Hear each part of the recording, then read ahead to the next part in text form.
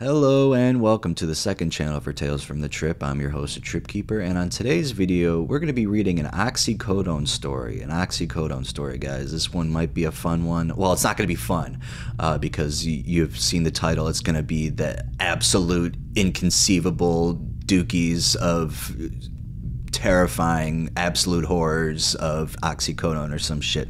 I'm not actually gonna name it that, but it's gonna be something something crazy like that to get you guys' attention. It's like it's um it's, it's play on words for my main channel and it's going to be on the second channel it's just like more crazy you know what i mean it's, the titles are because i can make them more crazy i'm sure if i did on the main channel people wouldn't even mind but uh, it's just funny it's just funny to, to see that see what it can become because we've done meth and crack so why not do oxycodone on here so this one is called the paths we walk uh, it's by solstice was going to do this on the main channel but i am too like tired to read a longer story for the main channel right now. I'm only, if you guys notice, my videos have been shorter on the main channel. Uh, yeah, I've just been working a lot and uh, have feel like I need a break uh, from everything. Uh, it would be nice to be off from work so I could do these things, which I was off today, but I had a doctor's appointment, had to go grocery shopping, had to pick up prescriptions, had to do a lot of shit today. So I've been busy. Uh, it's 4:30 right now and I'm getting my first chance to like record because I actually took a nap as well. I didn't even mean to, but there I was at 2:30, waking up like, huh, what's going on? Uh, but anyways, let's get right to it because we don't want to extend it on any longer than we have to. But you guys, some of you don't mind, some of you do mind, so that's why we're doing it. Even in my early days, I was always the introverted, weird, and downright awkward one. In middle school and high school, I was the one who had maybe one or two friends and hated everyone else with a burning passion. I hated the way they all dressed alike, listened to the same music, and had all the same interests just to fit in. I'm sure a lot of you can relate when I say I've never been too keen on fitting in. While the others were busy being cool, I preoccupied myself with various genres of music, learning everything about this world I could, and generally trying to mix things up as much as possible. I rejected the religion that everyone around me had been indoctrinated in, and rather than just let them be ignorant, in my opinion, I would do my very best to be as sacrilegious as possible. That worked for me until late in my sophomore year. I had straight A's up until that point. Then, due to my own foolish decisions, I was expelled well, we kind of can't. What happened here? There's there's got to be something. Uh, you can't just say you got expelled and that's it. After my expulsion from school, I had to figure out some other way to get a diploma and ever and eventually found an online school that would take me. My parents graciously forked out the $3,000 bill for my school, and I ended up doing the last 3 years of school in about 6 months. Everyone was so proud of me. Unfortunately, this is actually when things started going downhill. I had about a six month period of waiting before I could go to college. Being, uh, of course, being a 16 year old with nothing but time on his hands is an absolutely terrible situation. How did I occupy my time? You guessed it, the dreaded D word drugs. Yep, that's a dreaded D word here, guys. Not the only one, though. I started out just taking pills and smoking pot like the majority of drug users. In the beginning, this was no big deal. I would take a few Vicodin here and there and usually just smoke weed. I dabbled in psychedelics, which to this day are my favorite class of drugs. This entire time, I maintained a job, maintained a job, saved money for college, and never spent more money than I had. Everything was seemingly going fine. My first semester of college began, and as usual, I aced all my classes without opening a book. The next semester, things did not go so well. I went on about 15 lectures that semester, uh, missed every midterm and final, and ended up running away. I was still 16 at this point, to live with some friends and do drugs all the time. At this point, I was still not using very hard drugs, any very hard drugs, but I was unequipped and too immature to be using drugs in the first place. I finished everything I worked worked so hard down the drain at that point. Oh boy. Downhill from here, guys. Fast forward to my 18th birthday, I had moved back in with my parents at this point, but was really only biding my time until I could move away legally. Looking back, I realized I was probably the dumbest person on the planet, but such in the nature of being a teenager, I moved back in with some friends for a little while, but I quickly grew weary of the stagnant lifestyle I was living. Sure, we were drinking and smoking every day, but this had become rather boring to me at this point. One day, I just happened to meet one of my old high school friends at the mall. He told me he was moving to West Palm Beach, Florida the next day, and I should come chill and smoke with him before he left. I had nothing better planned that day, so I gladly accompanied him. We relaxed at his house, taking a few Xanax and smoking a ton of weed. He told me about how his grandmother was basically kicking him out of the house and that he had some friends in Florida he was going to stay with until he got on his feet. He said he wished I could go with him, but he knew I wasn't just, just going to pick up and go somewhere I'd never been. I didn't even miss a beat. I'd been dying to get out of the shithole that is Alabama ever since I had moved there since when I was 10. Fast forward again about six months, I've been hanging out in West Palm with no job, just going with the flow. Honestly, a job wasn't exactly necessary for me. I managed to make money through my lucrative business. I won't go into details, but I had enough money to basically do whatever I wanted. I was going to raves, shows, and festivals, doing every psychedelic I could acquire. My favorite was MDMA, as the quality in Florida was absolutely superb. At some point, however, I noticed my mood, mood drastically declining. Deep down, I knew this ride couldn't last forever. I had enough money saved to start going back to school, and I knew there was no way I was going to be able to do it in Florida. I would have never studied. In my last days there, however, one of the few people I actually wanted to say goodbye to said she wanted to smoke out before I left. She came over, but I could tell she was already on something. I asked her what, just out of curiosity. She told me she was on Roxy.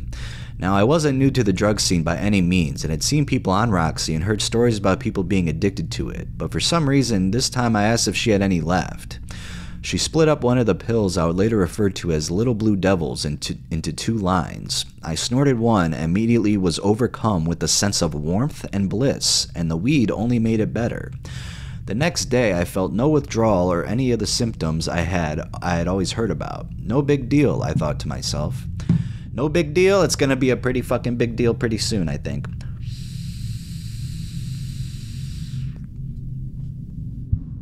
Few weeks later, just after spending Xmas with my family, I was in Alabama living with my brother. He had already been through college and was an electrical engineer. He was pretty naive to my past drug usage, and I was glad. I quickly found a few friends here in this new place and smoked pot with them on occasion. Actually, I ended up spending about eight months without finding a job or getting myself into school. During most of this time, I had only smoked pot. Towards the end of the eight months, I had occasionally started dabbling in Roxy's. The first time I even had the idea of dabbling in oxycodone again was when my friend, who we'll call Glenn, told me he had just found a connection for 80 milligram oxycontins. Of course, I was trying not to exhaust all my funds on drugs, so he ended up splitting one of them four ways with two of his friends. Up my nose, this relatively small amount of powder went.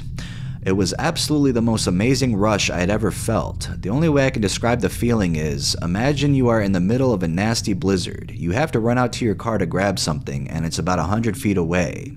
When you get back to the warmth of your house slash apartment and huddle up under a pile of freshly washed blankets, and the joy you feel of having found comfort completely overshadows the horrendous cold you just escaped. Now multiply that feeling by 100. Shit, where can I get some of this shit?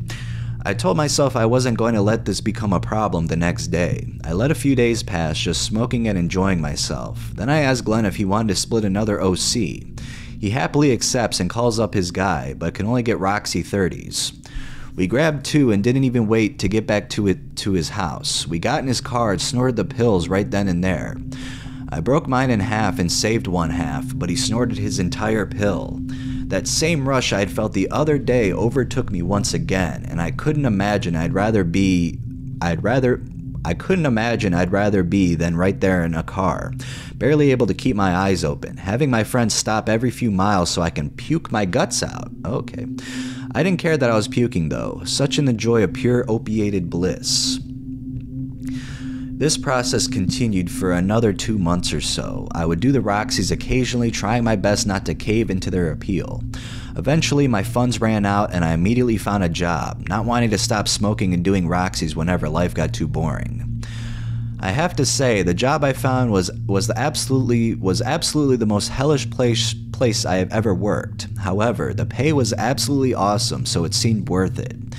I made enough to support my pot and Roxy habit, and Glenn and I actually made enough to get an apartment together. It wasn't exactly the best of places, but it wasn't a rat infested shithole either.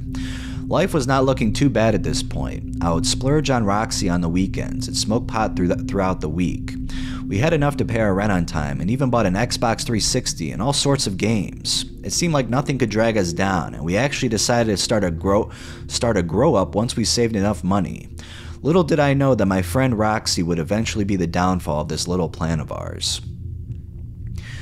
It seems as months went by, we both had less money to our names and had to snort more Roxy to get high. My dose at this point had gone from 15 milligrams twice on the weekend to about two, two pills three times a week. I still had no physical withdrawal symptoms, so I figured I was good. To be truthful, I was actually still doing pretty well compared to how bad things were going to get. Over the course of only a month or so, my three times a week had turned into every day, and the same goes for my roommate. Glenn had started coming up sh- short on rent money, but still had the majority of it. I figured it was time for us to slow down, and he fully agreed with me. We attempted to stop. It lasted all of one day. The next day, for both of us, was filled with absolute misery. This was the wretched withdrawal I had heard so much about. We called up our dealer that day and got our fixes. I noticed something at this point. I was no longer getting that amazing rush I had loved so much in the beginning. I just felt good.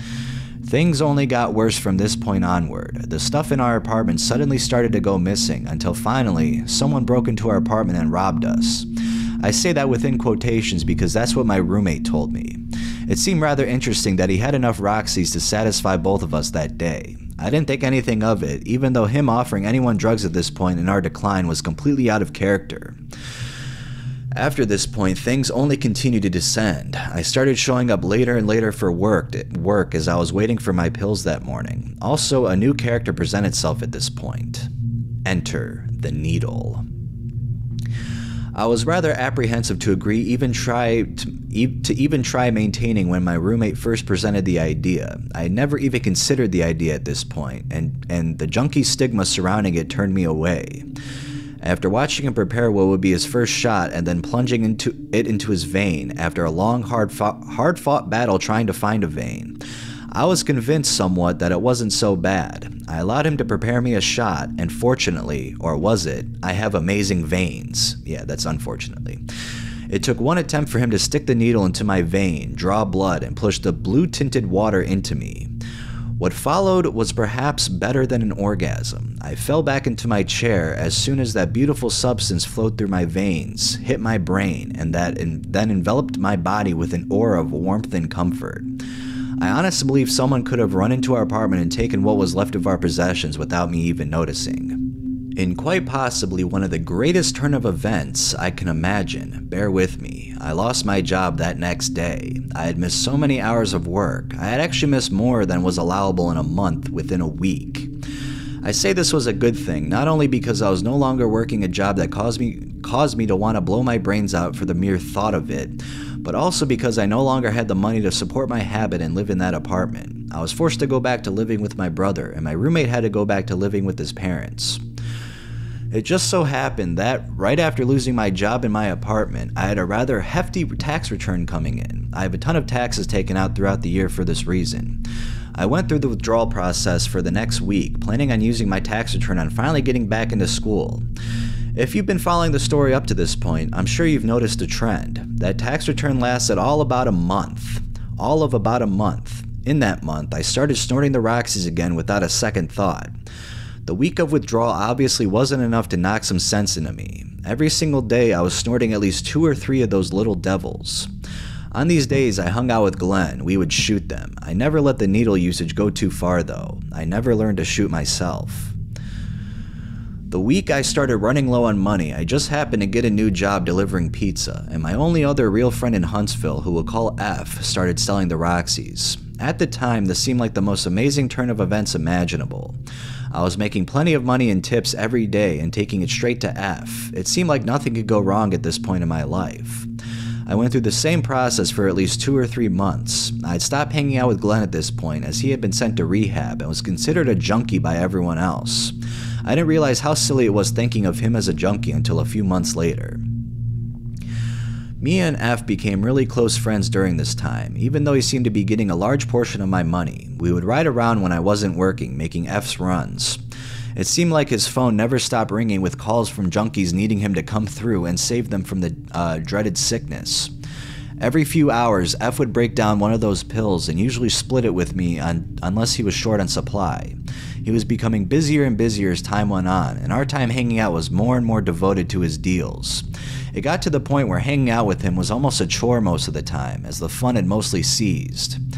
I cut back on hanging out with him a bit, and it seemed like the days that we did hang out were a little better, until along came Xanax. I had no problem staying away from it, but F was doing so many of the Roxys at this point, he couldn't he couldn't do enough to get high. Every time I saw him, he was in La La Land, and I didn't even want to ride with him anymore because I was afraid he would kill us both. It took over a month to get him to realize how stupid he was being. Eventually, I did finally get him to quit taking bars for the most part. I was snorting a pill or two a day for these past few months. On paydays, I always splurge, buying up to 10 pills at a time and doing them all in a single day. After a while, though, those one or two turned into three or four, then five or six. I wasn't splurging on payday anymore, just maintaining an ugly habit. Every dollar I made went to those little devils. It got to the point where money from my job wasn't covering my expenses. I turned my old lucrative business. Unfortunately, I didn't have anywhere near as much luck in Huntsville as I did in Florida. On some days when I was completely empty on funds, I would take as many hours as I could at work, regardless of how sick and in pain I was. I would even show up late or take an hour for a single delivery to get my fix for that day. I didn't care if I jeopardized my job, as long as it meant I could hold off my sickness for a few more hours. It was around this time that things started to really go downhill. I was falling deeper and deeper into a hole of depression. Depression wasn't exactly new to me. I've dealt with an overall dysphoric outlook on life since I was young, but it had never been this bad before. Thoughts of, you know what, plagued my thoughts whenever I wasn't high, and then the sickness had set in over a day. It was as if I were already dead. No matter how I how doped up I got, I still had to face the next day with a dark cloud hanging over my head. Yet I just kept feeding the fire. Around this time, Glenn had started doing the Roxys again, but skipped straight to shooting again. I would once again start hanging out with him, and any time I did, he would happily shoot me up. The allure of the noodle. noodle. The allure of the needle was overpowering for him, but I found it to be too short lived for my tastes. I would rather snort five of the pills and be sauced out for a few hours than shoot one and be sauced out for an hour or so. Anyway, the process continued. Sickness, spending every dollar and getting high. Sickness, thoughts of you know what. More sickness, doing my best to just stay not sick. At this point, I had resorted to stealing, lying, cheating, that whole spill. I even sold my guitar, amp, pedals, Xbox 360, my brother's guitar, my TV, my t- my sister-in-law's TV, and anything else I could get my hands on. This only further contributed to my feelings of guilt and remorse. Every day I was alive felt like another day of hell on earth. I ended up wrecking my car, and rather than saving the few hundred dollars I got for scrapping it, I spent it on more pills. I ended up using my brother's car to work. He wasn't exactly thrilled about it and told me I needed to find another job or buy a new car. Well, I knew for a fact that neither of these was going to happen, and it felt like my life was going down the drain faster than it could help, than I could help. It was around this point that I decided that I was going to take my own life. I decided I was going to take myself out the same way I brought myself so much misery in the previous months. I managed to sell enough shit to acquire 20 of these little blue devils, intent on shooting and snorting them until I fell, fell into the eternal, eternal nod. I just happened to have the house to myself that night, so I prepped a few needles and broke down the rest of my pills into powder. I snorted about half the pile at first, alternating nostrils as I went along, and shot five pills into my veins, with quite a bit of struggle as I'd only shot myself a few times before. So that glorious nod came along, and it was almost too strong for me to actually continue. However, my overwhelming misery still lingered. I stuck my straw back up my nose and went to town on what was left of the pile. About halfway through, the thought came to mind I wonder if there was a better way. And with that, I fell face first into what was left of the pile and my table, which at this point was covered in my blood and the remnants of the powder. How I did not die that night, I do not know. No one came to my rescue. There was no naloxone involved, which is Narcan, just a bloody mess and a somewhat scattered pile of oxycodone. I woke up with one of the worst headaches of my life, an overwhelming sickness, and the same miserable feeling I had before. I did what any self respecting junkie would do in this situation and scraped up what I could of the uncontaminated oxycodone and, and snorted it up my nose. This would turn out to be my last taste of the opiate bliss. I cleaned up my mess, well, at least on one on the table, and went outside to smoke my cigarette. I made a decision at this point to do my best to get help. I had to confess to my brother all the bullshit I had done over the past few months, and at and at the end of the long, long conversation that ensued, we made a decision for me to go back to living with my parents. I had to do everything in my power to get off the shit and get my life back on track. I have been clean for three months or so now, and every single day is a challenge. The depression was getting better and better each day, up until yesterday. I came to find out that F, one of my best friends on this planet, ended his life in a similar fashion as I had tried months before. He had been wanting by, he had been wanted by the cops for selling narcotics and did not want to be put in jail, I guess. He was more successful than me due to the addition of the Xanax, which I thought he had stopped taking. If you have read this entire story of mine and are still able to stop uh, and are still able to stop doing oxy, heroin, or any opiate you can get your hands on, please fucking quit while life is still good. If you haven't started but were thinking about it, I hope this has knocked some sense into you. No knot is ever going to be as euphoric or as amazing as the first. This is something I can promise you. Wow, so the guy F, uh, pretty crazy, dude, pretty crazy. The guy took his own life. Um, rest in peace rest in peace. Yeah um, I, I never understood taking your own life versus going to jail. Like i mean i don't know how long he'd be in jail for but i don't think it's worth taking your own life over. Um, i really don't. Um, or people who don't call the ambulance or something because they don't want to get in trouble. Like dude grow a fucking pair and call the ambulance. Like you're you're this is someone's life you're talking about here. Um, but anyways i hope you enjoyed that story. It was a it was a longer one, you know. It was a longer, not as long as the other ones we were reading, but um, definitely not as long as that Datura story we read. That just kept going on and on and on and on and on and on and on and on. And there's actually a part three to it, so I will read that next or something. Um, yeah, so I don't know when, but it's gonna happen because uh, the guy uploaded it onto my Reddit. So um, I hope you all have a wonderful night and just stay safe out there. Don't do oxycodone, please. It's it's not you're you're not getting any benefit from it. You know, like he said, the first time was probably the most euphoric ever, but that you're never gonna reach that state again. So don't. Coming from someone who's done kratom, um, it's not you know it's it's not oxycodone or anything. It's not as not as bad, but it's still and it's opioid agonist, and I've been through the pain of wanting to get that same high I felt before, but you just never, you never get that, you never get that again. Uh, you might get it the first couple weeks for sure, but after that though, it just becomes an addiction, and you just want to reach that state of normalcy, and you just can't get that with with kratom, with oxycodone, with any drug. So just not telling you to fucking stay away from everything as I think there are some things like shrooms and um, fucking I don't know. That's that's pretty much about it. Maybe weed, uh, but that's it. Uh, I don't really recommend doing anything. So uh, yeah, just stay safe out there, guys. Please.